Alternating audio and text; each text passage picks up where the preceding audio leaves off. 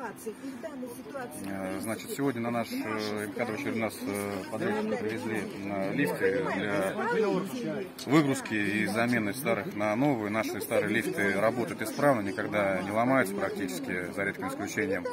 Вот.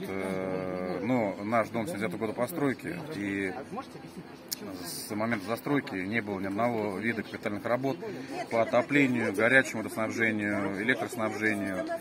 Э, Постоянно происходят прорывы водопроводов э, в квартирах э, батареи стояки отопления 79 года, кто-то, может быть, и поменял там где-то.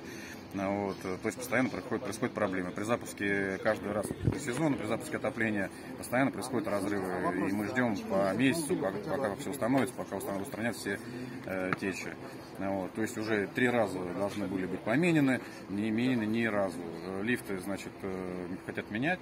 Ну, Вот, и э, срок капитального ремонта перенести на 50-52 год. Вот, то есть, если сейчас заменят, лифты заменят, они отслужат 25 лет, их опять нужно будет поменять, и только после этого будет капитальный ремонт всех остальных инженерных систем. Это я не представляю, как это вообще возможно. А это вот э, прям так и объясняют? То есть из-за того, что поставят лифт, по остальным, ну, расходы исчерпаны как бы. Дело в том, что мы стояли, не только мы, и много домов, такие как наш Воронеж, сроки ГВС, ХВС, электроснабжения стояли до 20-22 год, но никакие виды работ не произвели. Объяснив это тем, что когда создавался фонд капремонт в 2014 году, система автоматически все эти сроки установила. Вот, э, и в 2022 году также СМИ было озвучено то, что будет проходить техобследование всех домов. Вот, э, значит, э, все это обследование было проведено эффективно. Значит, лично я э, звонил подрядчикам, которые будут проводить обследование, договорились о дате. Ждали мы их целый день, только в 15 часов они явились. И сообщили нам, мы целый день были около дома, никто около подвала, входа, все у нас были на виду, ни в подвал никто не спускался, ни на тех этаж никто не поднимался. Э, Тем не менее, появились э, ну, техобследование, акт появился вот, э, со всеми системами, с процентами износа. Вот, то есть все это сделано, сделано эффективно. Вот. И из-за этого вот была такая акция, женщина разозлилась. Дело в том, что уже третий раз их привозят. Как бы. Дело в том, что все протоколы общего собрания собственников, то есть без общего собрания собственников данная процедура проводиться не может. Вот. э, Эти протоколы подделаны.